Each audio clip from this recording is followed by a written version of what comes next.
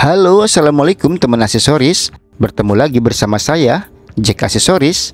Di video kali ini, saya akan membagikan tutorial Cara aman pasang USB charger HP motor Di motor Scoopy FI keluaran tahun 2014 Cara ini berlaku untuk semua jenis motor Yang belum mempunyai charger HP bawaan motornya ya. Oke, untuk USB charger motornya seperti ini. Untuk charger HP motornya terdapat saklar on off untuk mematikan dan menghidupkan charger HP motornya. Dan di USB charger HP motornya sudah dilengkapi dua buah dudukan untuk charger HP motornya. Yang pertama untuk dudukan di baut spion motor, yang kedua untuk dudukan di stang motornya. Dan seperti ini jika kita mau menggunakan dudukan untuk ke baut spion motornya. Dan seperti ini contoh untuk dudukan charger HP motor untuk di stang motornya. Silahkan gunakan sesuai kegunaan motor teman-teman ya. Dikarenakan saya pasang USB charger HP motornya di motor Scoopy FI, jadi saya pasang charger HP motornya di stang motornya saja.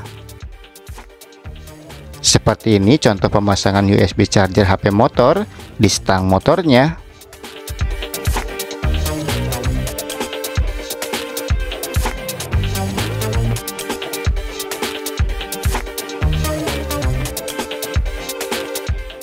Oke, pemasangan charger HP motornya sudah selesai terpasang. Sekarang kita masuk ke pemasangan kabel USB charger HP motornya. Pertama, kita buka dulu cover bodi depan motornya.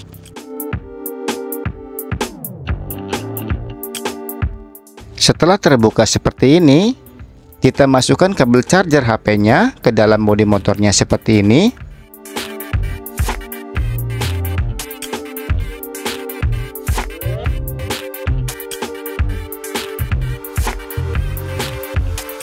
Oke, sudah selesai. Sebelum kita ke pemasangan kabel charger HP motornya, ada dua cara untuk memasang USB charger HP motor ini. Yang pertama yaitu kita bisa sambungkan charger HP motor ini ke jalur dari aki langsung motor ini. Dan cara yang kedua, kita bisa sambungkan charger HP motor ini ke jalur dari kabel output kontak motor ini. Pertama kita coba pasang USB charger HP motor ini di jalur aki motornya langsung. Di USB charger HP motor ini kan ada dua kabel. Ada kabel warna merah dan juga kabel warna hitam. Untuk kabel merah ini, ini untuk kabel positif charger HP motornya. Dan kabel hitam ini, ini untuk kabel negatifnya. Dan untuk kabel merah ini, kita sambungkan ke kabel merah strip hitam ini. Ini untuk jalur dari aki motornya langsung Dan seperti ini kabel yang sudah saya sambungkan ke kabel dari jalur aki motornya langsung. Setelah selesai, lanjut untuk kabel yang berwarna hitamnya.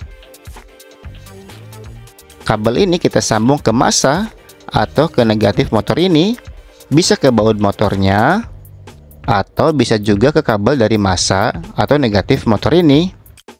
Di motor Honda Scoopy ini, kabel masa motor ini, kabelnya yang berwarna hijau.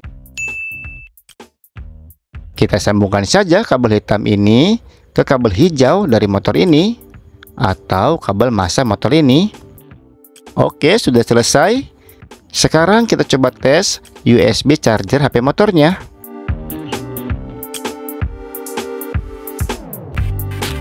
Kunci kotak motor dalam keadaan mati ya teman-teman. Kita bisa langsung nyalakan saja saklar on off-nya seperti ini.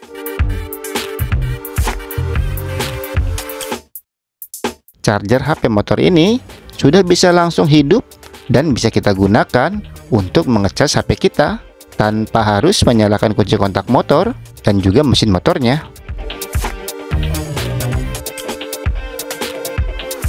Dalam keadaan motor mati, kita bisa langsung mengecas HP kita. Tinggal kita nyalakan saklar on off charger HP motornya.